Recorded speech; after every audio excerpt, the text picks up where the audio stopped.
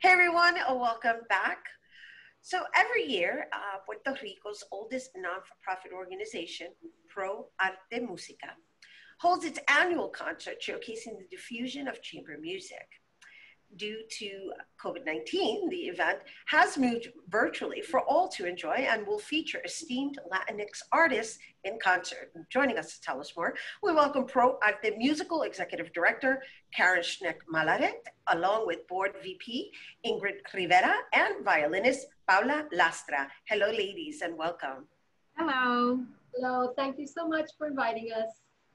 Well, thank you for being here with us a la remote. Um, I, I, understand that uh, both you ladies are in Puerto Rico and Paula is in Indiana. Correct, yes.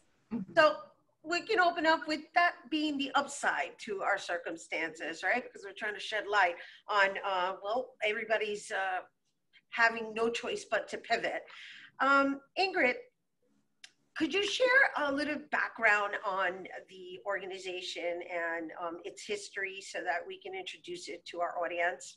Sure. Pro Arte Musical was established in 1932. So we're really the oldest cultural organization in Puerto Rico. I mean, we'll be 90 in two years. Um, we're very excited about that. Uh, and we are well known in bringing international musicians um, to Puerto Rico for Puerto Ricans to enjoy classical music, chamber music, and just wonderful quality music. Um, every year we have a temporada or a program where we bring um, guests from all over the world.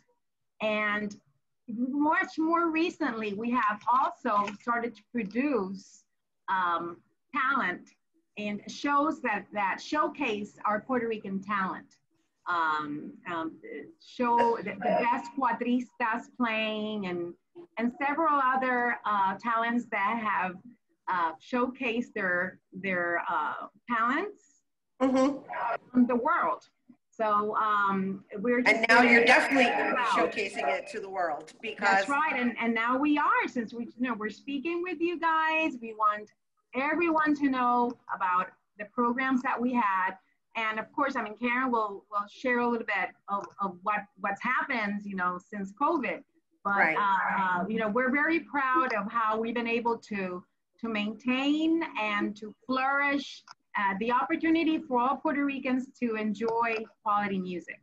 Yes, and, and thank you for bringing it here to our viewers. And um, Karen, if you can elaborate further on what this transition has been. I mean, um, you guys are, are, rather, the organization is held in such high regards um, in presentation. And um, I can only imagine what that must feel like to experience live in concert and, and what that transition has been uh, converting it into a virtual concert. Uh, let tell us, uh, talk to us about uh, all of the challenges and or benefits?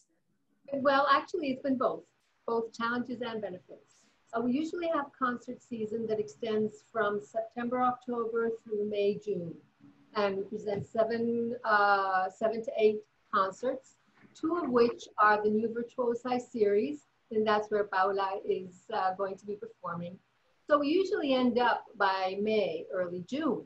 This year, of course, uh, in this the real world we're living in right now, we had to we had to decide whether we were going to accept the challenge or whether we're just going to to you know close or, or wait till this is all over. And we we decided to accept the challenge, as most of us do. And we got in touch. We wanted to do we wanted to go virtual. We have several um, ma- uh, uh, master classes on our page uh, and we started going virtual with them and it was a success. So then we said, let's finish our 1920 season at the beginning of our 2021 season and do it virtually. We were lucky enough to have the sponsorship of the Center for Performing Arts, Luis A. Ferré. They allowed us to use their stage. We had a wonderful production company, uh, young guys called La Vid, and they are simply marvelous and their energy and their excitement and their excellence has been such a wonderful experience to, to work with. Um, and then we, we also, the platform we wanted to have was a local platform. So we went to Tiquetera, uh, Manny Morales, and uh, actually Mirna, our, our uh, president, uh, challenged him and said, hey, you got a virtual platform for selling tickets. Let's produce concerts. And at the beginning, he was like, uh, well, what do we do?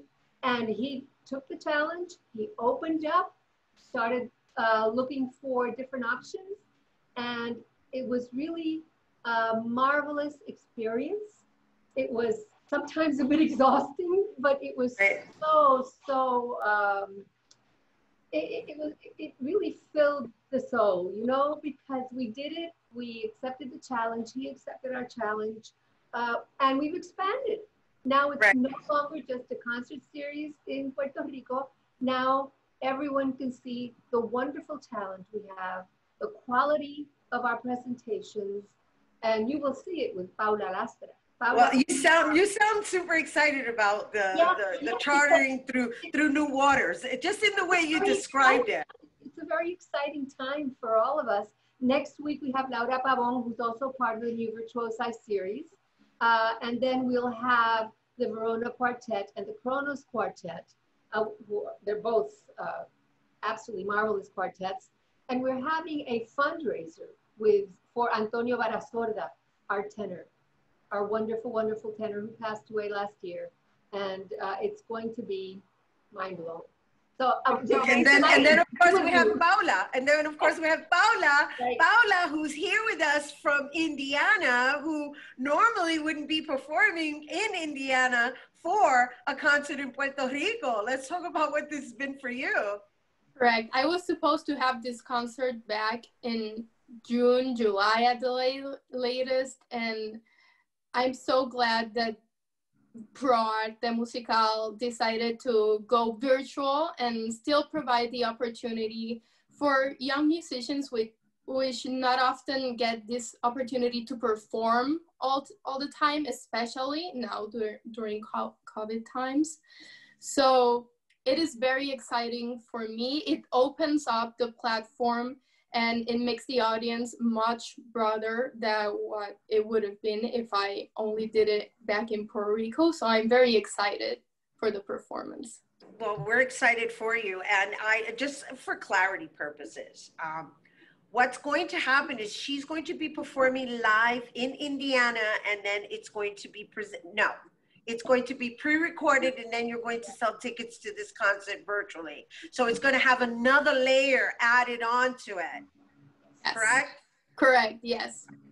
It, the concert was pre-recorded back uh, in July, I think. Mm-hmm. And uh, now it's going to be streamed uh, September tomorrow, September 26th at 7 p.m. Saturday. Saturday.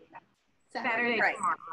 And uh, what's what's exciting about how this whole program now, the temporada um, 1920 that we're reinitiating, mm-hmm. is that we have we have two local talents like Paula and Laura. So jot down tomorrow the 26th, and next Saturday, October the 3rd, you'll be able to tune in and listen to amazing Puerto Rican talents. One, a violinist, virtuoso violinist, and another, a charismatic soprano. So we would love for all Puerto Ricans that are living in the mainland to connect to tiquetera.com and buy your pass to be able Beautiful. to support our Puerto Rican talent. Yeah, exactly. Because it also, it also loans itself to the island's uh, financial um, flu- yeah. fluidity as well, right? Yes, definitely.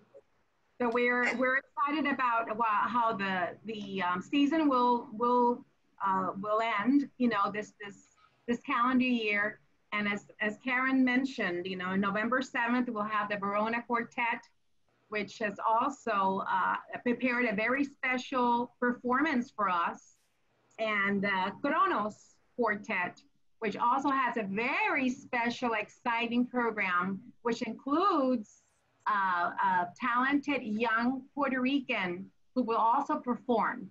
So these are the, the special surprises that are in hold. And uh, for all details and how to buy your pass, just, just visit our, our website, proartemusical.com. Thank you. Thank you, Karen. Thank you, Ingrid. Thank you, Paula. We look forward to these amazing concerts that are kicking off September 26th. Once again, you guys, Pro Arte Musical Fall Concert. It resumes September 26th. And for tickets, you can visit tiquetera.com. And for more information, you can visit proartemusical.com. Right. Don't go anywhere because Bobby C's Weekly Sports Roundup is coming up next.